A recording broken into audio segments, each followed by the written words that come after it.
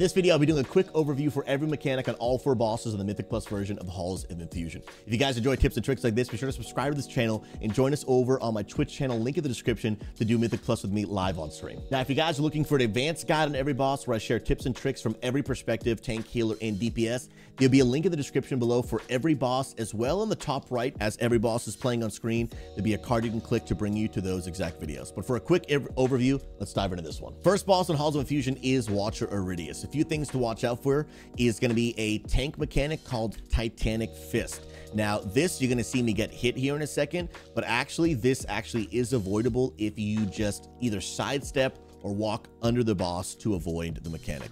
Next one is going to be Static Surge. This is just AoE damage that goes out in a pulse. You see him casting, and there's going to be four ticks throughout this. We took one of them already. The second tick goes out there, third tick goes out right there, and fourth tick goes out right there. Raid wide damage, great moment for cooldowns, defensives, whatever it might be. Another Titanic Fist, which is the frontal, and the next big one is going to be Power Overload. Power Overload, you'll see our DPS. Three people are chosen. Those three people want to run far away from the boss because when this cast ends, it will actually put a huge circle on the ground that you want to get away from the raid and then be able to come back in. If someone drops the circle near you, Tank can just pull far away from it and give yourself some space to rock with. Static Surge is another ability that goes out, AoE damage that can actually be outranged if melee runs four yards away, they won't get hit and they come back in and continue the boss. Those are really the major mechanics for phase one. There is actually an intermission phase, which I'll show right now. During the intermission phase, the boss will run towards the center. He will shield himself and begin to cast Siphon Power.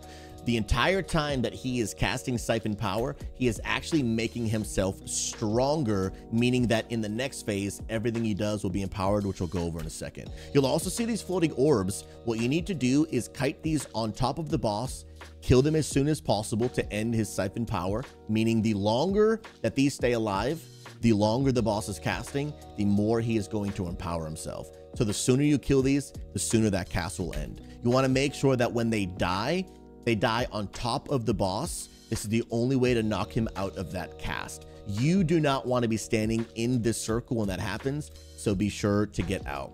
You'll knock him out of that phase, bringing us into the next phase where all of his abilities will be empowered. Now, in phase two, all the mechanics are exactly the same. The only thing really to note is that when we get the power overload, where we in phase one got those circles that get dropped underneath your feet, the only notice, the only thing to notice here is that those circles are just going to be bigger. Remember, everything he does in this next phase is going to hit harder because he was siphoning power, making himself stronger. So you'll notice how much bigger these circles are, meaning that you're going to take a lot of damage when trying to run out from them. So remember, kill those orbs, get him out of siphon power as soon as possible so that he is not super, super OP going into phase two. Second boss is Gulping Goliath, the infamous frog boss. This boss has a few things to look out for. First ability we see here is overpowering Croak on the meters. This is going to do AoE pulsing damage, and at the end of the cast, he will throw these frogs around the map. These frogs are mega important because they will fixate on people, chase you down, and when they land melee attacks on you, they will give you a debuff. They will give you a poison. If you allow this to get to 10 stacks, you will instantly die. So be sure to cleanse be sure if you're a shaman, you've got the totem, put that down, or individual cleanses are super important. You want to kite these frogs and you want to stay as far away from them so that you're not getting the debuff on you. Now, I want to encourage you, to click the link in the description below to check out the advanced guide where I talk through how to really deal with every mechanic on this boss in an advanced way because it's a really cool tip and trick that I share to make this boss super easy.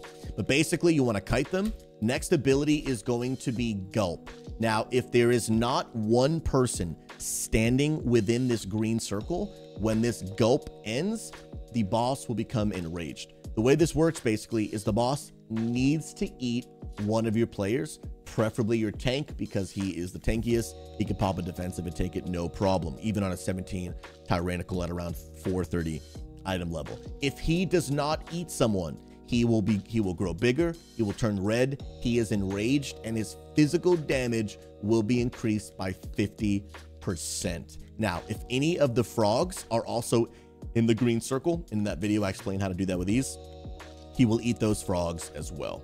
Next mechanic that is coming up is called Toxic Effluvia. This, again, is just more ticking raid-wide damage. Defensives are great here. Healer, just be mindful and also be watching everyone's stacks. So you'll notice raid-wide damage just ticking. I believe it ticks three times, and then it is over. Last mechanic you'll see is called Belly Slam, where the boss will pick a targeted player. He will put a huge circle on the ground, and you see our healer AJ Valdez gets on his horse and just runs out. Very easy to avoid. And for that boss, that boss, that is all the mechanics. As long as one of your players, especially the tank, gets into the gulp and gets eaten, and you do not allow yourself to get 10 stacks of the poison, you'll be good on this boss. Third boss of Halls of Infusion is Khajin the Unyielding. First thing to note is that when we all get into range, we will all get a debuff. This is unavoidable, cannot be cleansed, nothing you can do. It is called Polar Winds. It is doing damage every 1.5 seconds to the whole team, so lots of damage going out. First ability that we see here that goes on the tank is called Frost Shock. This will do damage and reduce your movement speed, and it can be dispelled. Next ability we'll see is something called Frost Cyclone about to go off. This, the boss will turn at a targeted player, so anyone in your party can be selected for this and she will put a white circle on the ground representing a tornado that is about to launch from where the boss and where you are standing. You want to be sure to move out of it and be careful not to point that tornado at to any of these ice blocks. If it's a whole ice block, it will break the ice block and make it broken like this one. If it's already a broken ice block, it will explode doing grade wide damage to your whole team. So watch your position. Cyclone goes out there. You see our team moving, but unfortunately, we see that the monk does go down. Another frost shock's going to go off, but this next one is very, very important. Hailstorm is a raid-wide AoE damage that goes out. It cannot be outranged. You cannot run far enough away to be safe from it. The only way to stay alive is to run behind one of the whole ice blocks. Now notice I said whole, not broken. If you go behind a broken one, it will explode and you will probably die, especially in high tyrannical. We get behind the ice block and our team is perfectly fine. Last mechanic to watch out for is called Glacial Surge, going off right now. She will cast.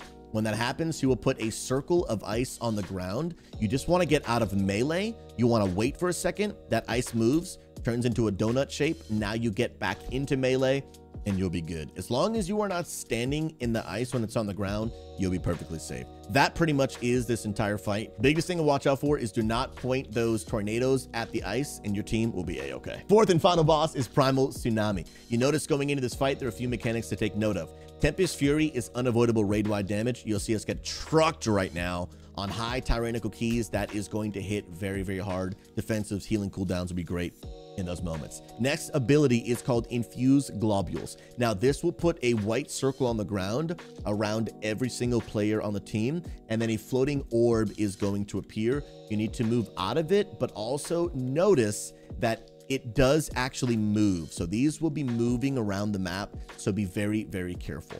Next ability is called Squall Buffet. This is technically a tank only mechanic, but it does involve your melee, which I'll explain in a second. Squall Buffet's about to go off. That is going to be a knockback from the boss. So technically, only the tank gets knocked back, but it's very important for everyone to note because two things.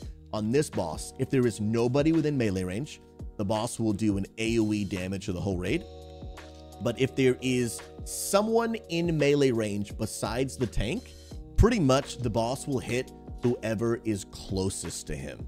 So melee needs to be very careful when the boss gets knocked back because if your tank does not get back immediately, he is going to smack whoever is closest. So I get back as soon as possible, and that is most of the mechanics that are in phase one before we get to the intermission. Intermission will happen when the boss casts an ability called Submerge. All the boss will do here is go underground, become unattackable, put everyone in these bubbles, and send you to these three long bridges along the room. This is pretty simple. All you have to do is just get back safely. Few things to note. If you touch these globules right here, they will not only do damage, but then they will become a really big blue circle in the ground, which will make it harder for you to keep crossing the bridge. Another thing to note is these tornadoes from when we did the gauntlet earlier. Again, in this video, I didn't cover any of the trash routes, but if you guys are interested in learning the routes and what every single trash mob in this entire dungeon does, their interrupts, their what to stun, what to move out of frontals, I will literally, I go over everything in this dungeon, link in the description below to get that exact video right there.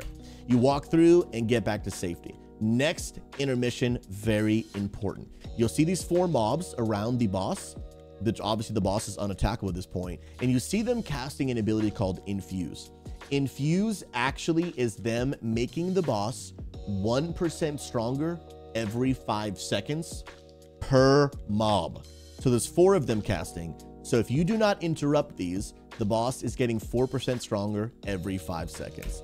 But just note that when you interrupt the ad, it then starts casting an ability that is not interruptible that will do AoE wide damage called Inundate. So make sure to cycle crowd control, stuns, all that good stuff. Otherwise, you and your team will start taking massive AoE damage. In my advanced guide about this boss, I show exactly what our team did to both prevent ourselves from taking AoE damage and not let the boss be getting strong with that cast. Again, link in the description below if you want to see the boss guide on this specific boss. After we get the final ad down, you will see that in a second, the boss is simply going to come out of that water and rinse and repeat all the mechanics I went over. You will continue to keep on going across those bridges until the boss is dead. So the faster you DPS this boss down, the less times you'll get sent back. If you guys enjoy these type of tips and tricks, be sure to subscribe to this channel, but also join me live on my Twitch channel, link in the description below, not only to learn Mythic Plus tips and tricks, but to actually do these keys with me. Come join our community, Unity Gaming. We'd love to have you. I want to say a massive thank you to everyone that watches these videos and supports. I appreciate y'all. We'll catch you in the next one.